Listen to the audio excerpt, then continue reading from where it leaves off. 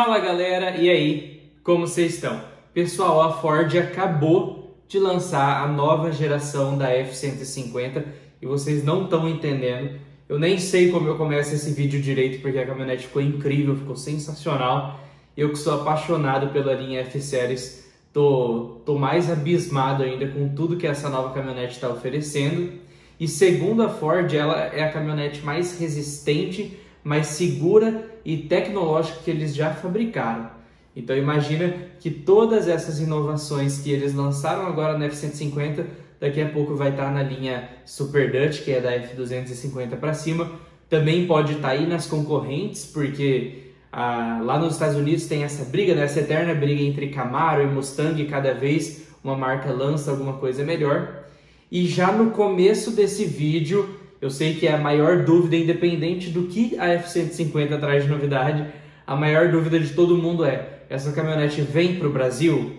Ela vem, pessoal. Eu estou falando, eu estou afirmando, eu posso errar muito feio, mas eu tenho 100% de certeza que esse carro vem para o Brasil. A gente já recebeu várias fotos da caminhonete é, rodando em testes no Brasil. A gente já tem alguns indícios, eu até gravei um vídeo falando todos eles para vocês. E, e, é quase certeza, a gente não sabe quando, né? O dólar tá alto e tudo mais, mas é quase certeza que ela vem para cá sim. Então vamos falar da nova geração da F-150, porque tem muita coisa. A primeira coisa que a gente vê é o design. O design novo da F-150 é uma evolução do design atual. Ficou mais robusto, parece que tem umas linhas ali mais altas. Esse LED no farol, esse LED lateral, no começo quando a gente via os flagras que a caminhonete estava toda camuflada e só aparecia o farol, eu achei muito parecido com a GMC, mas agora vendo o carro todo aí, eu vi, eu já passei a, a não ver tanta diferença. A Ford, cada, cada versão da caminhonete tem um design, uh, geralmente a grade, é, os detalhes de acabamento no para-choque.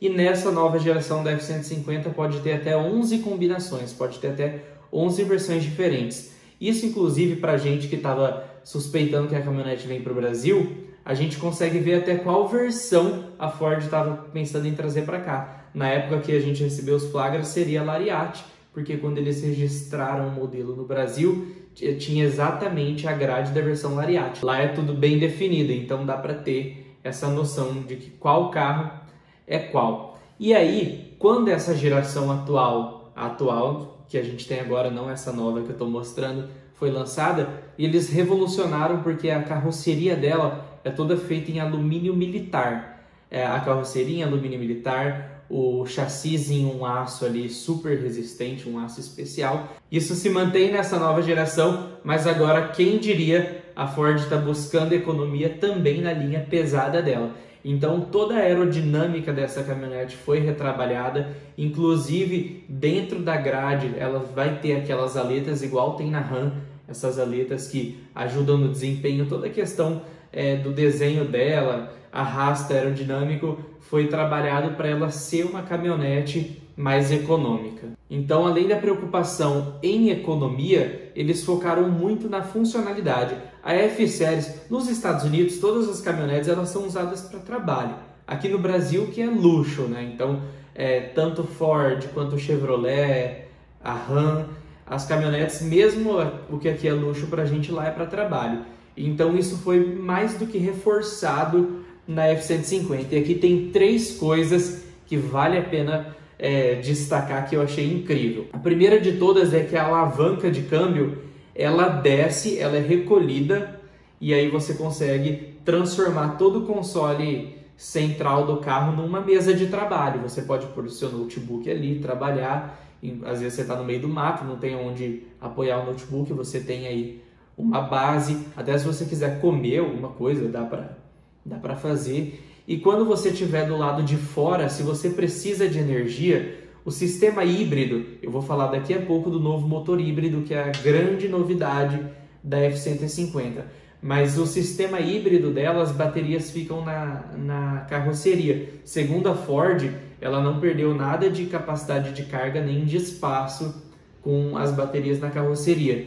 Mas ali, é, onde ficam as baterias, é, a Ford desenvolveu um sistema que você pode usar elas como um gerador de energia. Então imagina, você está no meio do mato, sem energia, sem contato com ninguém, mas precisa ligar uma, uma ferramenta e aí você liga na sua própria caminhonete que ela transforma aí as baterias do, do sistema híbrido em gerador de energia. Isso é incrível. Aí o terceiro, o terceiro ponto aí na funcionalidade é na, é na tampa da caçamba.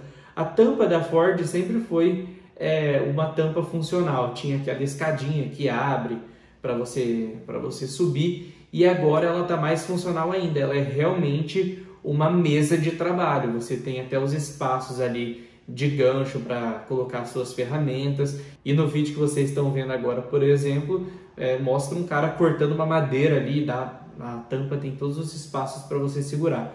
Isso é, é, sensacional, pessoal. Eu, tô, eu sempre gostei muito é, das full size americanas, né? E todas essas novas funções da F-150 a gente, a gente achou incrível. O interior dela também foi totalmente redesenhado, um dos maiores destaques é a central multimídia de 12 polegadas, o painel digital também é uma tela de 12 polegadas e além daquela função que eu falei para vocês da alavanca se recolher, o banco dianteiro da caminhonete ele rebate 180 graus e vira uma cama também. É uma inovação na F-150 por estar tá fazendo isso nos bancos dianteiros. O banco traseiro em basicamente todas essas caminhonetes full size americanas é comum, como o assoalho é liso, você rebate o banco para cima e você pode até colocar um colchão ali. A Ford inovou na F-150 dando a opção da poltrona dianteira também virar uma cama. Na tecnologia ela tem o Active Drive Assist, que é um nome bonito para dizer que ela dirige sozinha. Claro que a presença humana ainda é obrigatória nos carros, eles não são totalmente autônomos. Ela tem um sistema ali que detecta a, a posição do motorista, se o se a inclinação da cabeça está olhando para a estrada. Então, é um sistema que, se você estiver dirigindo a caminhonete e prestando atenção, ele vai funcionar perfeitamente. Ela tem também frenagem de emergência automática, tem detector de pedestres, tem ela, está, ela estaciona sozinha, então tanto em vaga paralela quanto em vaga perpendicular ela estaciona automaticamente e ela tem também um sistema de câmera que auxilia aí os traders. E segundo a Ford, essa nova F-150 aumentou a capacidade de carga de reboque, carga útil, torque e potência. Eu acho que para a Ford a principal novidade dessa F-150 é a versão híbrida, porque a gente está vendo aí a Tesla com caminhonete elétrica, os elétricos vindo com força e não tem jeito, a próxima leva aí a receber motorização elétrica vão ser as caminhonetes e os SUVs. Então todas as marcas estão correndo contra o tempo. Então antes de ter um modelo 100% elétrico, a Ford lança esse modelo híbrido. É, uma, é um motor de 47 cavalos que é acoplado ao motor 3.5 V6 EcoBoost da Ford que a gente já conhece. Então a potência combinada a Ford não divulgou ainda, mas a gente é, eles já falaram que a caminhonete consegue carregar agora, puxar 5.443 kg de carga e tem uma autonomia de 1.126 km. Então, o que, que acontece? O motor híbrido, quando você não está é, usando muito, não está precisando muito do motor, ele vai rodando ali no elétrico. Isso aumenta muito a, a economia de combustível e também a autonomia. Essa preocupação da Ford em ter a versão híbrida é tão grande que não está só na, na Limited que é topo de linha.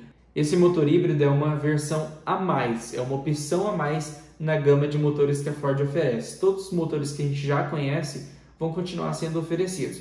O 2.7 e o 3.5 V6 EcoBoost, o 3.6 V6 aspirado, o 5.0 V8 aspirado e por último e o mais recente o 3.0 V6 turbo diesel. Então no 3.5 V6 ele você vai poder comprar com a opção é, da hybrid, né, que o pessoal fala. Mas todos os outros motores vão continuar sendo oferecidos. Eu acho que eu falei errado. Eu tinha falado aqui em cima que é, o motor híbrido ia na, na 3.6 V6. Não, vai ser na 3.5. E aí, como eu falei ali no começo do vídeo, as baterias elas ficam na caçamba, segundo a Ford isso não interfere na capacidade de carga e, na, e no espaço ali da caçamba. Essa bateria você pode até converter em um gerador de energia, que eu achei uma sacada genial da Ford. E é isso, pessoal. Essa é a nova geração da F-150. Se vier para o Brasil, ela vem nessa nova geração, porque não faz o menor sentido vir na geração antiga. A Ford não, a Ford não continua fabricando as, as versões antigas depois que, que, chegam as, que chegam as novas. E se vier mesmo para o Brasil, vocês esperem um preço muito alto. A caminhonete vai ser muito cara mesmo, porque ela não é fabricada no México. Ela é fabricada lá nos Estados Unidos. Então, como não tem um acordo comercial, essa caminhonete vai acabar vindo muito cara para cá. Eu gostei muito dela, eu acho que ficou sensacional. A Ford, mais uma vez, conseguiu inovar em um carro que já era muito tecnológico. Agora vai ser legal ver também as Super Duts, as F250 para cima, já, já vindo com novas melhoras, as concorrentes também melhorando. Essa briga é saudável para caramba e quem ganha somos nós que somos consumidores. Não consumidores da F-Series, né? Porque é uma caminhonete que vai vir muito cara para cá, mas para gente que, que é apaixonado por, por caminhonetes e todo esse, esse mundo aí que, que é o nosso estilo.